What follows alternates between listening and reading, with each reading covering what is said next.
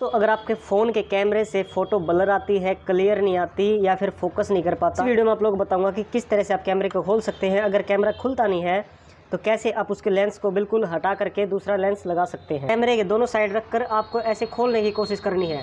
अगर आपका लेंस ऐसे खुल जाता है तो अच्छी बात है। अगर लेंस नहीं खुल पाता तो मैं आप लोगों को बताता हूँ आप एक दूसरा तरीका है, उसके आप कैसे खोल सकते हैं। हमारा जो दूसरा तरीका है दोस्तों कैमरे को खोलने का, वो है हमारा एसएमडी की मदद से। मैं 10 से 15 सेकंड इस पर हिट करता हूँ और फिर इसको खोलने की कोशिश करता हूँ और खोल कर दिखाता हूँ आपको किस तरह से खुलता है कैमरा तो अभी मैं देखता हूँ दोस्तों, इसको खोलने की।